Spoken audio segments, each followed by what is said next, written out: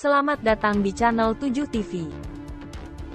Saat ini, sejumlah instansi kesehatan sedang memadati depan kantor Kementerian Kesehatan terkait aksi demo penolakan RUU Kesehatan pada tanggal 8 Mei tahun 2023 dari jam 1 siang. Sebelumnya, aksi demo ini berlangsung di Patung Kuda, Jakarta. Aksi demo ini yang diikuti pihak kesehatan dan beberapa organisasi kesehatan menyuarakan tentang pemberhentian RUU Kesehatan yang dianggap mengancam terjadinya kriminalisasi terhadap dokter dan pihak medis. Masalah apa Pak? Masalahnya apa Pak? Masalahnya? Tolak RUU Kesehatan Omnibus Law. kita menolak kesehatan Ibu dari mana asalnya? Dari IGI seluruh Indonesia. Seluruh Indonesia. IGI, bidan, perawat, mahasiswa.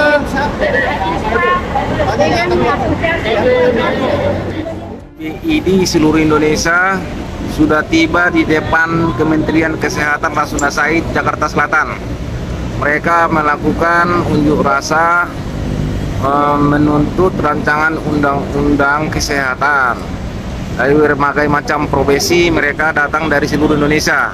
Dari dokter, bidan, dan perawat mereka berkumpul di depan gedung Kementerian Kesehatan saat ini. Kita mau melihat apa yang mau diaspirasikan mereka, yang mau dituntut mereka terhadap pemerintah. kasih tahu pak kita punya stok menteri calon menteri banyak sekali akan direkam kalau dokter spesialis yang juga itu susah cari gantinya mesti sekolah lagi dulu 10 tahun baru bisa Kenapa minta diturunkan, Bu? Alasannya apa, Bu? Minta diturunkan Pak Menteri? alasannya karena tidak pro ke eh, rakyat dan eh, mengenai undang yang eh, apa eh, eh, dokter medis kesehatan lainnya Oh, Pak, Bapak dari mana, Pak? Bapak dari mana? Dari ID. dari Dari daerah-daerah mana, Pak?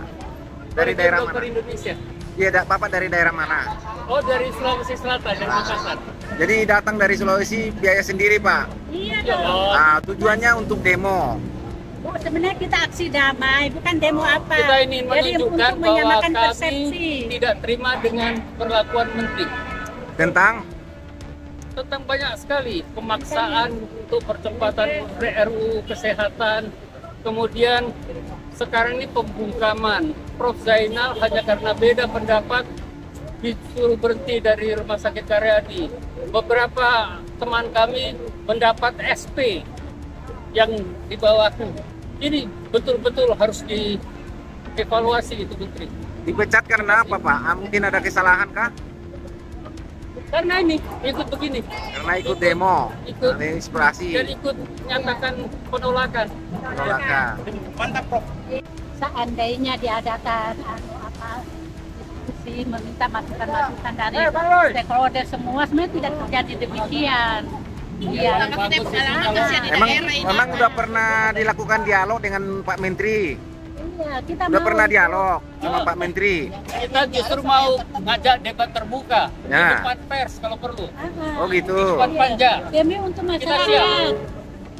menteri beraninya hanya bicara sepihak Oh gitu. kasih tahu kalau menteri hanya beraninya bicara sepihak kalau mau debat terbuka kita ladeni Dari kantor Kementerian Kesehatan, tim channel 7 TV melaporkan.